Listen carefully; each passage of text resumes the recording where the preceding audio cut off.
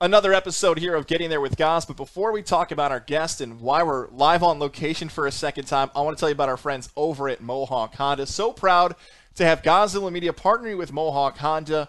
If you're stopping in there, you're looking for a new vehicle in the capital region, say hello to my guy Cam McKenna, say hello to Greg and and Andy Gelcher. Don't forget Brian McKenna because he gets salty if you only say his kid's name. It's only it's it hasn't been so. Levack, my pal, you tuned into this. Levack, you tell us. You, you take over the live library. Tell us about the great people at Mohawk Honda. Listen, you might be hearing rumors that the 2021s aren't on the lot at Mohawk Honda, Freeman's Bridge Road in Scotia, but that's not true. They are there and they are ready for you. And our boy John is over in service to take care of you. Uh, listen, you know we love Mohawk families, both of us Mohawk families, and um, just a beautiful vehicles, great dealership. You know, Jeff, Steve Harridan, you know, Andy Kelcher, the whole crew. I got to drop my vehicle off at John at service. What'd you do now? Uh, uh was it, it a bear in a shopping it just cart? says maintenance. It just says maintenance. I texted John and Cam. I'm like, I just says maintenance. I don't know. There's also goldfish in the back seat. I feel like I need to clean those up. you, you know guys. what that is? Your car, your your beautiful Honda Pilot went. I could explain this to you, but you wouldn't understand. Like I could say you need air in your tires, you wouldn't under. I could tell you your windshield wiper fluid is low. You wouldn't maintenance. Just please bring me somewhere that someone will take care of me. It's me hitting my car like an ape. Fix, fix, fix. How do we get the files on this computer?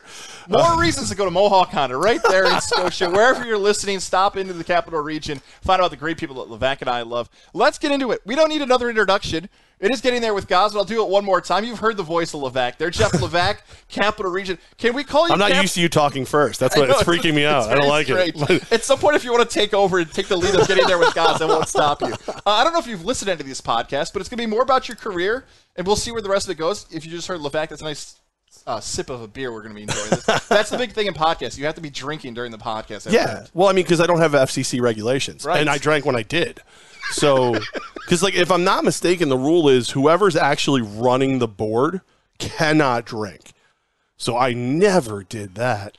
Never. Wink, wink. wink, wink, nudge, nudge, say to Mo. Uh, six, seven, eight years old, Jeff Levack. when you were a kid, what did you want to be as a kid? It was the same dream job. Homicidal maniac. Uh, When you were 18, it was legal to commit murder. um, you know, I it, it's weird. Dad was a mechanic. He ran the Niskayuna school bus garage. So I always thought I wanted to do that. Uh, but he he told me I wasn't allowed to. He was like, I want you to work smarter, not harder. Uh, and there was a point where I wanted to be a firefighter. And then there was a long part of my life where I had no bleeping clue what I wanted to do. I had no idea at all. And that that might still be the case. we're being perfectly honest. But when you are 18, South Yeah. Colony, shout out, right? What up? Mean Streets of the South. Colony. They, they tell you you have to leave. Uh, college is sort of not your route, but kind of is. Like, are you like so Jared I knew I was going. I knew I was going to Hudson Valley. Okay. This is before all that. So I, I, I actually at one point, I really, really wanted to be an athlete. I really wanted to be like I wanted to, and and I've always had some kind of physical skill and gift, but I've always been. I can swear, right? Yeah. Do we go with f bombs? Is that allowed? You or can do whatever you want now in podcast land. I know, but like that's your show. I don't want like you might have a line like, "Hey, anything but an f bomb." I say for this for this you can drop f bombs if right. you want. By the way, Mohawk Honda, this is only because of Levac. Well, and I'll only say it, I'll only do it once, but it's Okay. it it I think it's needed. I was such a fuck up. I was so like I I could take the brightest sunniest day and turn it into a tornado. That I like drank my way out of playing certain things, everything. But as I got through, you know, later in uh, to high school, junior senior year, I, I was actually relatively intelligent. Like I so I wanted to do um, sports medicine. So I went to Hudson Valley on a biology major and I took the uh, I didn't take the SATs because you have to take an entrance exam to go to Hudson Valley. So I was like, why am I going to take two tests? Like it's stupid. I'll take that. I scored so high on the math part that they literally wrote on my college entrance exam, like this is great work! Exclamation! What Like what you would do on a kid's test, not like an entrance exam. Problem is, I'm not that smart, and I screwed that up. and I started cooking over at Teresian House, and that's when I went to Schenectady County Community College to cook. Okay, so hang on. So Yeah. you go to Hudson Valley. And Yeah. You left this part out, and Yeah. you're being a little humble here at the start. You were a very good athlete who came to lacrosse too, and as you mentioned, we'll just leave it there. Uh, you had partaken in too many extracurricular activities with a certain I got drink. suspended for over a week for drinking on school grounds and getting Okay. caught. Yeah, that's what happened. Yes, that's what happened. And that, and when I came back to school, the lacrosse coach was waiting for me because he's like, "Well, since you're not allowed to play football, how about some lacrosse?" And I played goalie on the um, on the JV team right away. and uh, it, it's I love it. It's fun. It's a great thing, but it's also a extremely painful. And it was like it was like random games where people would laugh. You know what I mean? Like like uh, like teammates would laugh because I'd be getting I I looked like I was polka dotted by the time I got on the bus, and I just got ticked off. I, you know, went through the season. We we weren't very good, and then I just decided not to do it anymore. I, I it, it was stupid because I would. I was getting sniffs from some college programs where they were like, "Hey, we'd like to talk to you at some point," and that was already I wasn't even playing varsity at that point. But yeah, I, I chose I, I, chose my path early. It was it was in one of these bottles. well, let's go back to Hudson Valley because you test so well there, but yeah. you flip over to cooking. Your intention when you went to Hudson Valley, you just didn't know what you wanted to do, and then you like where does cooking come from out of the blue? Oh, I well, so I was I was in high school. I started working at Teresian House Nursing Home. Okay, and that's run by Marriott at the time, Sodexo Marriott, and I started cooking on the weekends and doing stuff, and I, I was I was good. I was pretty good at it. So the the chef at the time, and I won't say his name. We'll just call him um, uh, D-bag Mick Douchey Face. Um, he he would he would beat me down, but he'd teach me a bunch of cool stuff.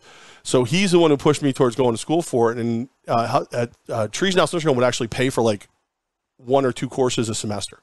So I would take you know two courses a semester in my spare time and got pretty good. Was actually in the chef's guild at like 18 years old, and then uh, was not. so what happened? Because you are good, you're excelling, you're wearing the full. I joked around because I've seen these pictures with you before. This is the weird part about doing this because we've had these conversations privately, right. and now doing this publicly with you listening wherever it might be on Apple or Spotify.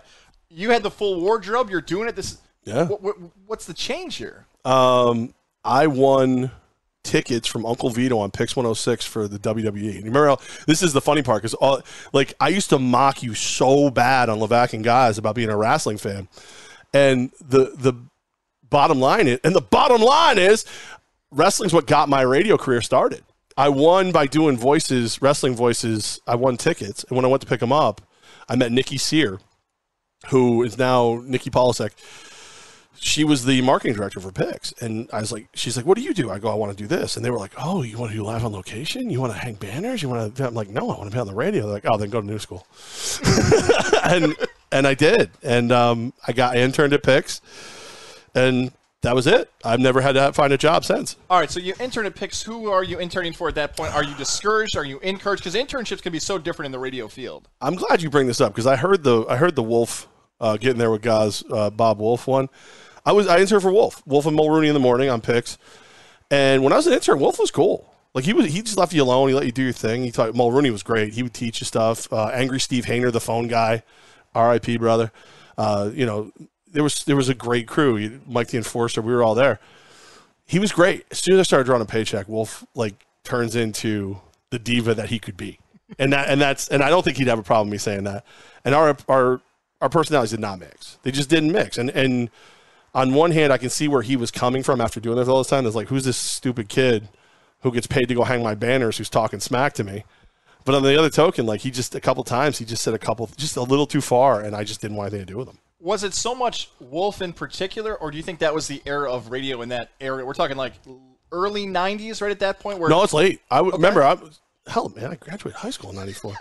um, I started at Pix in '98, late '98.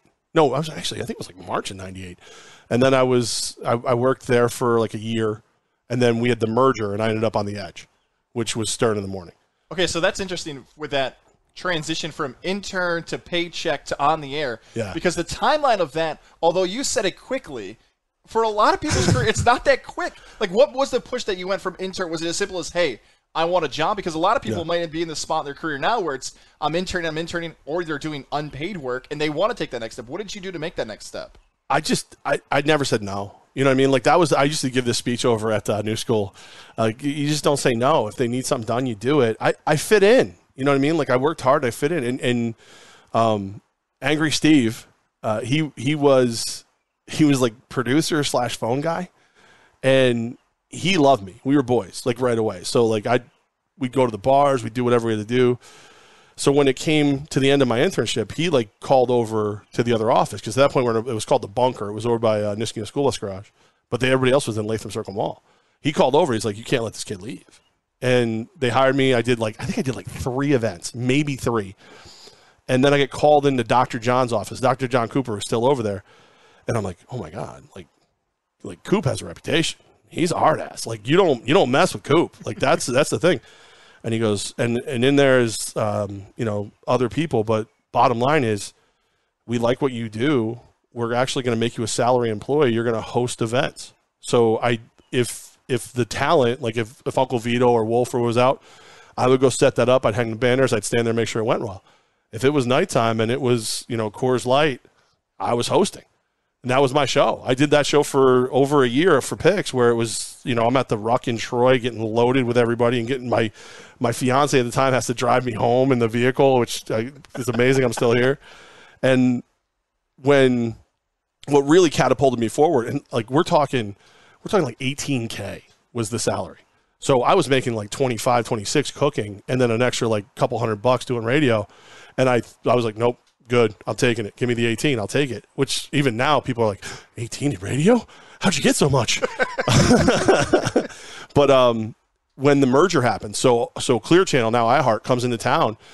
You can only own so many so much percentage of the of the market. So they wanted Pix to add to their repertoire. They were going to give us QBK, QBJ, which was the edge, and we got to keep GNA. So Bob Oswald was the GM. Bob Oswald said, "Stay with me. I'll take care of you. I'll give you a couple bucks." And you'll be on the air. And if Bob Oswald says it's good, the Bob Father, if you get blessed by the Bob Father, you do it. And that's what I did. Let's sit there with the Bob Father, Bob Oswald. For those who may not be familiar, especially in the capital region, New York, New York broadcaster Hall of Famer, Bob Oswald. That's exactly right. Levack beat me to it. We were talking about one of the true titans of the radio industry here in New York. You are a young person in your career developing a relationship with somebody who proves to be one of the most influential people. Again, not just in the capital region. We're talking all of New York State. What was your relationship like with him, and what was he like being a mentor for you early in your career? He's scary. Like that dude was the Oz, like the Almighty Oz. Um, but if if he liked you, if you were respectful to him and he liked you, you were set. You were it was like I literally had. I'm not. I don't. It's not right. Like I wanted to say names because we're sitting in my we're sitting in my bar.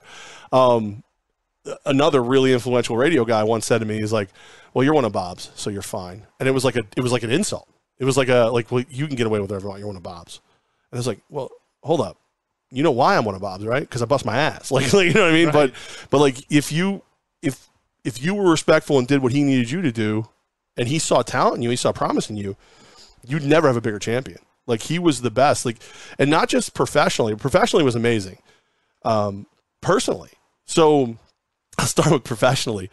Reverend Dave Hill becomes the program director of of the Edge as soon as we take it over, and really smart dude. He used to have this like long hair, walked around in Jesus sandals, looked like Jesus, like literally. And he was and he was an ordained minister, so he was Reverend Dave Hill. Bob tells me I'm on the air. That's why I come over.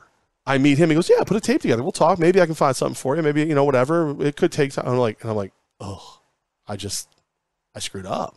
Like I screwed up. I shouldn't have done it." Bob puts his arm around, starts walking around, turns back, looks at me, goes, "I'll take care of it. I'll take care of it." Reverend Dave comes back to me like 15 minutes later. So yeah, we're going to start you on the weekend, like 10 to 2 on Saturdays, and uh, you know we're going to teach you to board op Howard Stern. And I and that caused like a rift between Hill and I because you know here's this guy who came here who knows his stuff, who he had guys he wanted to bring in with him, and they were all really talented people. And then here's this, you know, snot nosed punk who he has to take. He has, no, and I, of course, I don't understand that at the time. I'm just like, you know, I'm, I'm where I belong. And it ended up working really, really well, but I could understand why. So that was like professionally, like if he told you his word was good, it was it was better than good. Do you want to sit on the personal stuff too before we move yeah, on? Yeah, I, I will. Um, so I meet the woman who's going to be my wife, and I I've always been I don't like I think some people always thought I was scamming. I would rather spend money with clients, even if they're not spending money with me directly. Like if if a jewelry store is spending money, and you did this yourself, and this is why you have such a great relationship with uh, I'll say it, Lily David Fine Jewelers, Wilton Mall. Um, they were they were with me, and you were like, well, if they're spending money on on our station, I'm going to go get my engagement ring and wedding bands there. So that's it. I went to Bob. I go, hey, I'm proposing, you know, whatever. Honestly, uh, she proposed to me, but you know, whatever. Um, but I was like, style, yeah, yeah, absolutely. You, right? I got to I got to Topanga. Uh, I got I got Jeff meets world. Um, and I was like, you know, I would rather spend the money with a client. He calls over to the jewelry store, tells them I'm coming. I walk in, and it, and you know I'm I'm in gym shorts, flip flops, hat backwards, pretty much the same way I still dress now. just a little skinnier, and you would have thought like I was the dude rolling in with like the black card. You know what I mean? They were just like, "Oh, Jeff Levack, oh, come here!" Oh, and they, they're like, like somebody's there and like pulls up in a Maserati, like stiff arm out of the chair, get out of the way, like, and, and uh, they helped me, you know, help me get all my stuff, took care of it, and then when I ultimately ended up uh, getting a divorce from that same person, Bob was in my corner the whole time, made sure I kept my head above water, he didn't let my career suffer, and you know, would legitimately let me borrow money. It's fortunate that you're able to find people like that, like Bob, in your career because when you're starting off in a career, whatever it might be, any type of field, it's hard to find people Oh. with. Look, radio, television, newspapers. There's ego-filled people, and I'm sure, with no disrespect to Bob, Why are you looking like, at me? with no disrespect, to him, but like everyone has to kind of have their own backing. But to have a guy like that in your corner throughout your career is amazing, and to have a mentor like that is so influential for your career. I think we, for perspective here, have to offer this because what you're going to find out about the podcast world is that people listening to this may have never listened to you before on 104.5 The Team, or we're going to soon talk about your country career in rock. But I think for the sports fans who know you from 104.5 The Team, they're probably confused of why you're doing rock and not sports. Kind of offer up why it's the rock angle out of the gates rather than how some people may know you as a sports host. I never knew that I would be able to do sports talk. I never knew I'd be able to talk. You know, like I, I knew I was funny. I knew I was a one liner kind of guy. Like I've always had confidence in that. But I didn't if you had told me then, hey, at some point you're gonna talk five hours a day about sports. I'd have been like, well, I kind of do that now. No, no, on the radio, and you're gonna get paid for it. I'd be like, what do you smoke? But it Pix was Pix was a, a heritage station. I wanted to be on Pix, but I loved the Edge, Active Rock, and this was like the heyday of Active Rock. Like this was, you know, ninety nine to two thousand three, where you know Disturbed, Staind, you know, Metallica is still cranking out hits. Godsmack is really hitting, and I was all about it. Like when I got, so it was like I was on, I wasn't on Pix. I got to work at Pix. I got, I screwed up really bad with Dr. John, and he came to me one day and he goes, "Hey, I need somebody to do overnight on New Year's Eve." And I went, "Oh, okay, okay." And he's like, "You don't want to?" I'm like, "Well, I, no, not really." He never offered me an air shift again because that was the deal. That was I was my first shot. I should have jumped at it. I should have taken it. Um, and then I got over. I did the Stern thing. I did the Saturdays on the edge, and that's that's where I started to take off. Find my voice. Did seven to midnight stuff like that. But that was fun, and that's when I learned. You know, I learned how to do this in in bursts. Like you, this is such a different animal than what we did back then because you do a burst. It was uh you you had to be enter you had to fit entertainment in under like I think I was allowed to talk for like a minute. That was about it. And that was even like once an hour. The rest of the time it was like 30 seconds tops. So you had to find you had to pry and, and make that entertaining. Now it's like, all right, I did a minute. Well, do 10 more because because commercials are up in a little while. And, and by the way, it's a it's January, so they ain't selling nothing. Yeah, you mentioned that rock era from that late 90s to early 2000s. I think you said it really well there that this is where everybody wants to be because oh. this is truly the golden era of this type of radio where if you are a male 20 to 54 that's where you're going sports talk radio its time is really still at its infancy like a lot of national shows haven't taken off yet you have some local shows that are happening in sports i think they're in the capital region just roger might be hosting sports i think tobin and coleman come later like there isn't a lot of sports opportunities but i do want to talk about the howard There wasn't thing. there wasn't a lot of people No. who were there wasn't there was I think there were people doing it, but there was a lot of notoriety. Yeah. like nobody knew like the way people knew who you and I were. Like still like to this point, like we haven't we just figured out a little while ago we haven't done a show together since January. So it's like, and people still come up to me and go, "How's Goz?" Like whisper, like I'm like, "He's Goz is good." You're like, whatever. Like people are like, "Oh, God is good." No, God, oh, I don't like maybe. I don't know. Is it stranger than that, or someone walking up to you say, "Are you Goz from Levack and Goz?" And like, kind of. the, kind the, of. the only plus side, the only plus side to to that show not being on right now is I don't get Levack and Goz. Okay, well, what's up, Levack? Like I'll get that. Where you feel Levack and Goz? It's like I'm just I know I'm fat, but I'm one person. Just me. Come on. So Howard Stern, I, I'm sure you've had Oh. him described uh, the same way he's been described to me by salespeople. It's truly he's been compared to Jesus, and what I mean by that, it's that pre-Stern, during Stern, post-Stern, like Jesus, right? BC, AD. That's how salespeople describe the era and the influential positivity or negativity, depending on how you want to look at it, of the Howard Stern era. And you were in it, Levack. You were in the mix of it on a local level. Take us through what that meant to your career. And for those who are probably younger listening, what Howard Stern meant to the radio industry. Stern was the he was the best at getting to that line and and not always crossing it. I mean, he would cross it once in a while just so you knew he could. It's almost like like if you're going to pull a gun, you better shoot it kind of thing. Where he would be like, "I'm going to pull it. I'm going to, I'm going to," and then every once in a while he'd actually pull it. Um, but he would say things nobody else said. He would do things nobody else did, and he in like in this modern day cancel culture. I, I love everybody who listens to him now and they're like, he doesn't sound like that. He couldn't do that show. He would he'd get he'd get two shows done and he'd be canceled. He did a show in, in in blackface. Like he did a whole TV show in blackface one time, and nobody talks about it. Like every once in a while it'll come up because he did it like with Robin's blessing and stuff like that. He was he was insanely entertaining and the most difficult show to ever board op I've ever board op because there's no schedule. There's no. It's not like like like Goz and I when we would prep the show, it would be set for three o'clock, 3.15, 3.30, 3.45. Now, did if 3.45 hit and we were still talking, would I go, no, stop everything? No, but you, you kind of had an idea where you're going. He started going. And if he blew through two commercial stop sets that were supposed to be, you know, let's say five minutes long each, you'd have a 15 minute commercial stop set come up. And it was running on a minute and 15 second delay, and that's all you knew. So you'd be sitting there and you'd hear K Rock and you'd hit because he was on K Rock out of the city, 90, 92.3, which always confused the hell out of me because the fly. And you'd hit, like, hit the timer. And then a minute and 15 seconds later, you'd pot him down, you'd pot up your commercials, you run your commercials. And then you'd be listening, you hear K Rock, and you do the same thing the other way. That was the only way you knew.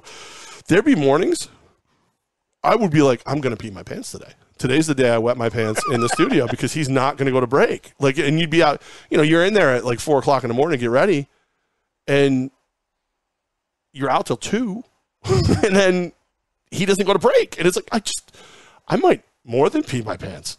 this, this could get bad, but it was. He's legitimately king of all media. He can interview anyone. He can interview, interview anyone, and if they were willing to have an open and honest conversation, it would be a great conversation. They should play the movie Private Parts in media classes. Love it. Because a lot of people, even though you mentioned like missing breaks is not always a big deal, there are some program directors, bosses of stations that if you miss it by 90 seconds, especially at the top of the hour, they will oh. start yelling and screaming and banging on the window and Stern, go watch Private Parts because he just does what he wants, and that's the power of how popular he was. That even if you were a sponsor and you were an advertiser that said, I'm on the Howard Stern show, you didn't care you were in a 10 minute commercial break because people were flipping on Stern and that audience was so massive, it didn't matter. You were still getting the airtime and the exposure you wanted. There would they would do um like local places would do live reads with him, and I think they would pay like an obscene like thousand dollars for one. So like you pay like a like a let's just say a thousand dollars. He would do it, but you as the board op had to record it on reel to freaking reel. So like like a giant cassette tape in the room, and if you missed it, it was gone. It was in the ether. You had to hope that somebody at K Rock would send it to you. Because somebody paid a thousand dollars for that thing, and then you take it off the reel to reel. You'd give it to your. It was guys Tim Stokes. He was our prod guy. R.I.P. Tim Stokes. Why is everybody gone? How have I made it this far? Um, he was one of the greatest dudes, biggest voice you ever heard. And you give it to him, and he'd load it in, and then that would run for that company for like months. But they, it was it was like a grand.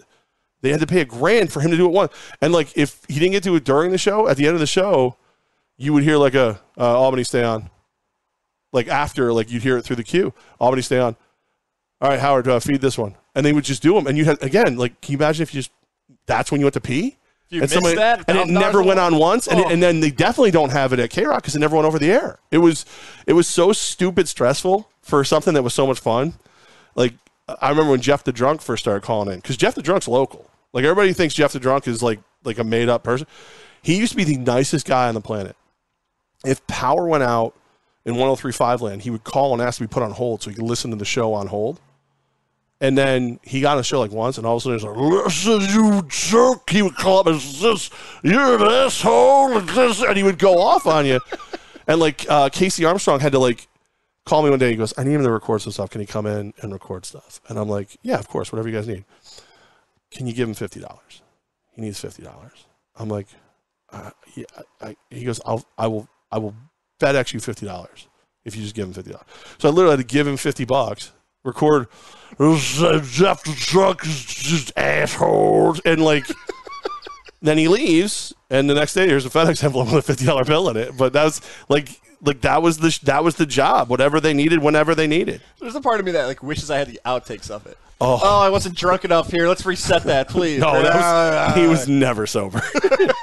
My dude likes to drink. That's all, right, all there is to it. So you're in the middle of this Howard Stern era, which is golden era of radio. Oh, so you're a part of it. You're on the air now at this point. This is you, I actually skipped over this. It was, really important. When you talk about that live on location stuff, that's one of the dream jobs. It's oh. more part time now. You might be a promotions director in some markets, but Levack, at that point in your life, you're going to all the parties, all the biggest shows. Yeah. You're going to everything. But there introing bands over at Northern Lights, which upstate Concert Hall. Like I got paid to go drink. I yes. literally got paid to drink. You're having all these amazing moments, but there is a transition now from your career from rock to country. Well, I, well, I ended up seven to midnight on on the edge, and when Stern left, you know, was it AHS after Howard Stern? Yeah, we became Q1057. I was on nights. I was I was the assistant program director, but I was the program director of at that point it was 1300 AM, which was 1045 the team now. And when the, they made me the program director when they flipped it. So I was the guy behind the scenes who loaded the whole station, and that's when I knew I wanted to talk sports, and they wouldn't let me. That was when I knew I wanted. So I had the, I was the night show host. I was APD of of Q103 at that time, and I was the PD of 1045 the team. So by they not letting you, was that because they felt like you had more value behind the scenes because you knew all this stuff? Was it because they didn't know what they were going to do with sports? Did you not? Uh, I'm confused. I'm, I'm right. sure I'm with a lot of people here that. Like, what? what they? What? So it was. I think it was kind of. It was like it was like twofold at that point. I found out later it was like threefold, but originally it was I was doing so much on Q that they didn't want to lose that. But the other part was like corporate had had a lot of success in other markets, and at this point we're Regent Communications um, by bringing in like newscasters, athletes, stuff like that, and that's when they brought in Brian Sinkoff, and it was I helped launch Sound Off with Sinkoff, which Brian did for years with Alan Fish, and did a good job with that. And then once that got going, that was when I found out what the third fold was.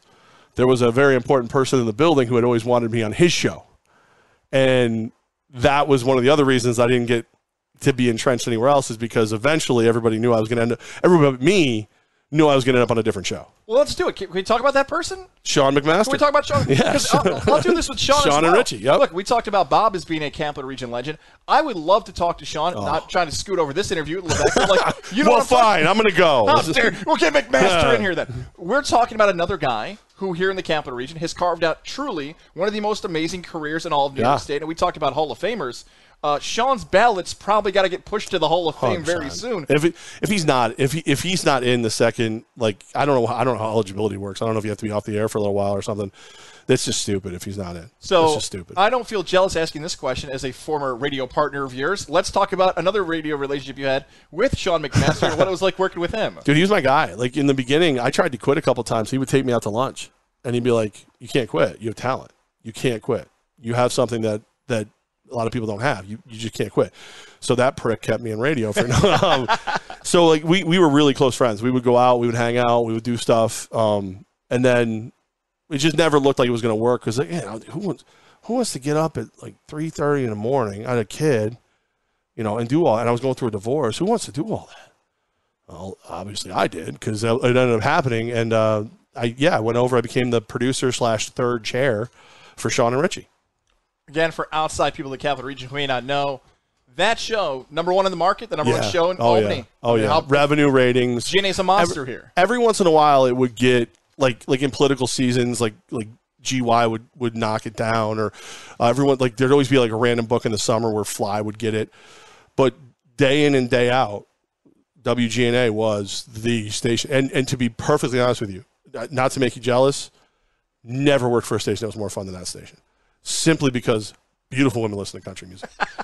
that was so much fun. It was like like I love each and every one of you dudes who comes out to me in Cumberland Farms is like, "What's up, man? Good show, whatever." That's awesome. But when you're at like you know SPAC and some really hot chick you have you should not have a chance with comes up and goes what are you doing later? And it's like, you. And they're like, okay. And it's like, oh my God, that worked. Oh my God. That's GNA. That's what GNA was. Did you find yourself when you're working a three? And again, for younger students who are listening, they probably might have. Yeah, please don't. None of this is going to work now. their first opportunity could be a three, though, like coming in doing updates if those yeah. are still things in the future. Did you find yourself putting more pressure on yourself as the three in comparison to later in your career as the one or the two? And I'm talking about the first voice you hear, a partner, because when you're the three, you gotta always be on. Like you're coming on to basically bring the comedy, bring the entertainment, and if you're not good, it's almost like a stand-up set. Like you gotta like kind of walk the shame off. Like oh man, I suck there. Like you only get a small limit. Did you ever feel that when you were working that role? No, because th- that was like Richie had no ego. Like you, like Richie is still one of my best friends in the world, and Sean, Sean has all the ego in the world, but he's also one of the nicest guys. Like he, he's completely misunderstood, maybe by himself, but he is like th- neither one of those guys ever once said don't talk. Neither one of those guys ever once like said, "Well, you ruined that break." It was always like we would always turn into a joke if somebody screwed it up. So it was it was just fun. Like I like I remember some of the funny jokes. Like I remember there was a dude who you get the prep service in the morning, the kicker news, right? Which is fun, like funny. news. Some dude gets arrested while driving and having relations with a jar of pasta sauce. That's that was the news. And and we never and you know this now, I don't I like to be off the cuff. Like that's where my humor is. Like if we prep it, I'll blow it. You know what I mean? So I put the stories in front of Sean. He wouldn't tell me what story. He wouldn't tell Richie what story we are going to read when we are going to do it. He does the story, and I just react. And he goes, "Yeah." So the guy's driving the road, and he's blah blah, and I go, "It's in there," because that was the old pasta. and the whole show stops. Richie turns a shade of red I've never seen in my life, leaves the room. Sean like almost throws up, and that was like, but that was that was the fun we were having, and we would, and we would go out, we would we'd host, you know, name the show. We Darius Rucker's in our fantasy football league. He's paying us 150 bucks to play fantasy football with us. Not just like, hey man, you want to play like whatever. He's like, well, dude, it's a 150 dollar league, and he's like, okay, I'm in. You know what I mean? Like it's it's it's like that's that's what that team, that's that show, that that team, that broadcast team was. And even though you're a sports fan all the way through, this is kind of your first exposure to doing sports updates on the air because I want to yeah. make sure I get this right. Is it views from the couch? You're going to kill me because yeah, I missed Jeff it. Levack's view from the couch. All right, I got it right. All right, what yeah. was that for those who maybe it was one of your favorite segments? I bet you still get compliments on I it to still, this day. Yeah, there's it's always weird. Like I was, we were doing a um, LePage's marking around in front of, and some guy walked by and he's like, ah, "Yeah, I don't, I, I haven't listened to radio since the Edge." I'm like, "Oh, Levack." He goes, oh, "I love that guy." I'm like, "That's that's me." uh, that's, uh, that's and, and, he's like, "Nah, nah, nah." But like, yeah, the it, Richie, I come in fired out of a cannon every morning. That's who I was. I was fired up, and Sean would go like, "Leave me alone," and Richie'd be like, "Okay, all right, I'll humor you because I'm nice." So one day I come in and I'm like, this happened, and this happened, and this happened. He goes, and Sean's like, he just puts his hand up like a like a like a crossing guard, like stop. He goes, can you put together three minutes of just solid sports content? I go, absolutely. So I go in the room, I write it. I go here, and he goes, I don't want to see it, and he fires over to me. Well, Richie hears the conversation and instantly in his head writes a jingle. So like by the time, so Sean doesn't know Richie's got a jingle. Neither one know if I got anything good, and Sean goes, all right, we're going to go to the back. Richie's like, no, no, no. It's Jeff Levack with sports, beer, sandwiches, and other life essentials. And like a beer opening. and like, we got complaints from like old housefraus about the burp. But like, yeah, we did it. And then we did it every day. Every, every single day I would have some random, like three stories, some stupid thing I wrote or whatever. And it was a blast. And, and yeah, it, it, that's probably what got me into seeing what the A's were, like the top stories. But it was like I remember like my biggest compliment when women would come to me and be like, I now know what they're talking about at the water cooler, so thank you. and I'm like, I don't know if I know what they're talking about at the water cooler, but it's cool. Thanks. That comment right there about women giving you compliments. This is a very deep radio answer, and hopefully, again, this is helpful for some people who enter the more entertainment side of this the mornings on music stations is a heavier listen to women audience. Yeah. So it's especially country stations. Yeah, country yeah. stations for sure, where they actually this is going to sound weird. I don't think I'm making a judgment on this. At times, women listening to other women talk, they don't like the other no. woman. So like, they did a study on that. Yeah, they, they literally did. It was. It was it was an interesting time for country too because they did a study on that where like we had Casey Dan uh, doing our news she was great, um, yeah women wouldn't listen to other women and then the, the really interesting thing that started to happen, like right when I got into country music, which you, you wouldn't even believe now, you used, like for country, gay was a punchline. every you make fun of gay guys all day long because it was funny. Well, what ended up happening like while we were they did a, they did a full study. I remember being like kind of proud.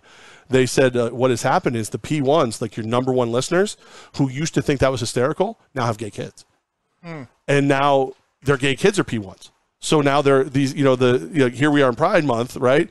And it's you. If you want to alienate your audience, go ahead. Say, say something derogatory about gay people just for the fun of it. And it was like, it was one of those moments. Like, there's people very close to me in my life, and I, it's not my job to out them. So who are who happen to be, you know, gay, lesbian, and everything.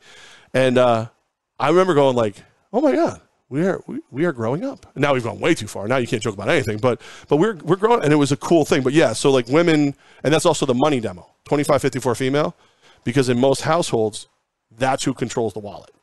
And this is where this like collision, this friction comes with me because knowing that information, you knowing that information, WGNA decides to make a change with you, even though you're popular with women.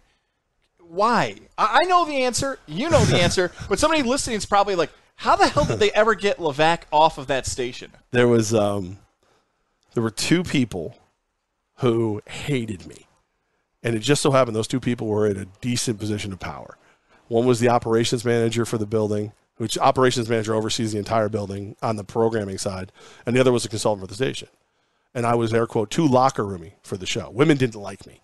I was too locker roomy so they slowly but surely you know soured me with you know people who could who could make the decision to take me off the air and they did. And i was off the air for geez i want to say it was like four months i know it was a lot of weight i put on some weight during that time but yeah i was off i was off i was they couldn't fire me because everyone knew how hard i worked but they took me off the radio they took me off gna because it was a woman station and i wasn't women friendly That is the most difficult part of your career because, like you just said, you hear the well talent. the last couple weeks haven't been easy